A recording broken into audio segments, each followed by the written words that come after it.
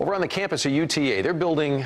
Uh, they're, it's a building there that houses more than 200,000 reptile and amphibian specimen, all collected in jars of formaldehyde. Photojournalist Mike Kinney takes us inside to learn how one snake that's been on the shelf more than 40 years just got a new name. This has uh, become known as the Amphibian and Reptile Diversity Research Center. We're now the largest collection uh, in Texas. We have a very active research program here. Okay, my name is Jonathan Campbell.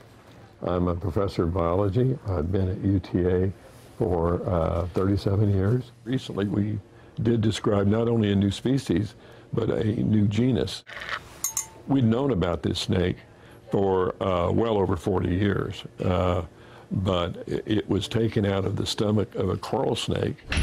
This is one of the type cabinets. This cabinet contains uh, species that are, were all new to science.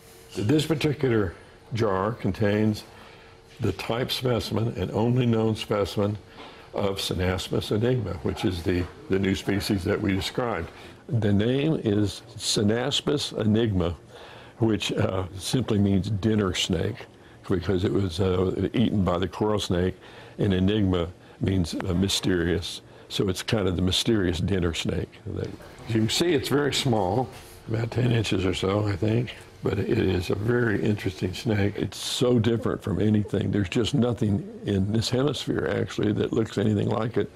We got up into this very remote area of Mexico. It's called the Chimalapas. This was 1976, and over the years, I've been back into that area at least a dozen times, but I've never found another one of the snakes. Uh, it's always exciting to find something and think, you know, no one has ever seen this before. It doesn't even have a scientific name.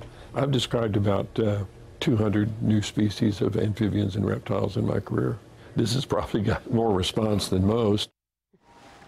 And Dr. Campbell says finding a snake inside of a coral snake is not unusual. He said out of the 10 coral snakes they found back in 1976, seven had another snake in the belly. Mysterious dinner snake. The name is very appropriate. I'm freaked out by it.